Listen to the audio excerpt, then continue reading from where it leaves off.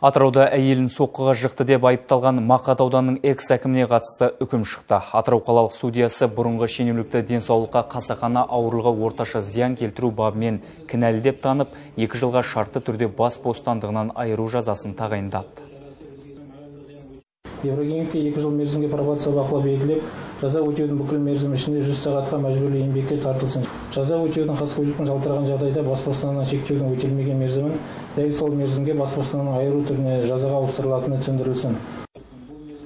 Сонымен қатар ол бұрынғы әйеліне 2 миллион теңге моральдық шығын өтеу тиіс. Айта кетейік, 38 жастағы Ринат Ибрагимов Мақадаудан 2 жыл басқарды. Дзюдодан спорт шебері бұрынғы әйелі әлеуметтік желіде отбасылы болған 11 жыл бойы балаларының көзінше ұрып соғып келді деп мәлімдеме жасаған еді. Экс әкім үкіммен келіспейтінін айтты.